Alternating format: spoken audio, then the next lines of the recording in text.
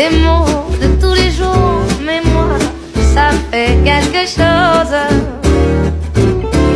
Il est entré dans mon cœur une grande part de bonheur.